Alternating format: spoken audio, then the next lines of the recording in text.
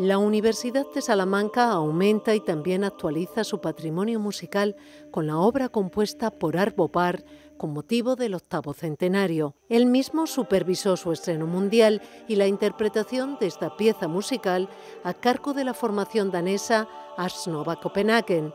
El lugar elegido fue la capilla del Colegio Fonseca.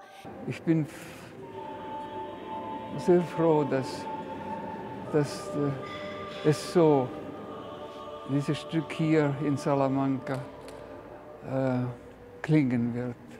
Esta composición responde a un encargo de la Universidad de Salamanca y del Centro Nacional de Difusión Musical. El célebre compositor estonio, precursor de la música minimalista sacra, nos permitió compartir este momento tan especial. Was ich eigentlich Ihnen sagen möchte, wir waren heute Besuch in Universitätsbibliothek und wir haben ein Buch gesehen, äh,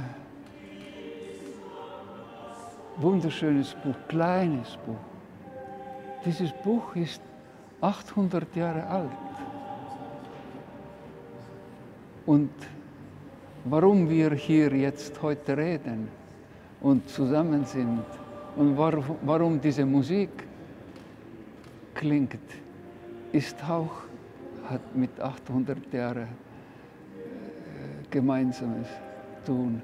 Und wir haben ausgesucht von, ähm, und wir haben aus Apokalypsis ähm, ausgesucht, diese, diese Text, was, was äh, wir singen werden.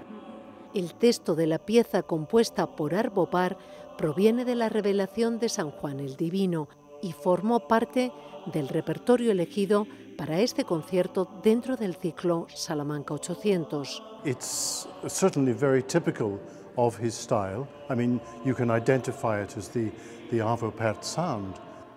This particular piece has perhaps one other distinguishing mark, which is that uh, it's actually set in the Estonian language, his language.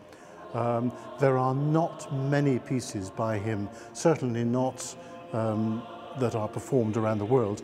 Obras vocales antiguas y modernas del viejo y nuevo mundo, varios siglos de música, dos producciones de Arbopar, además de la compuesta para la efeméride del octavo centenario, y obras de otros compositores. Wenn ich äh, etwas jünger gewesen wäre, würde ich gerne hier ab und zu zurückkommen und Musik schreiben.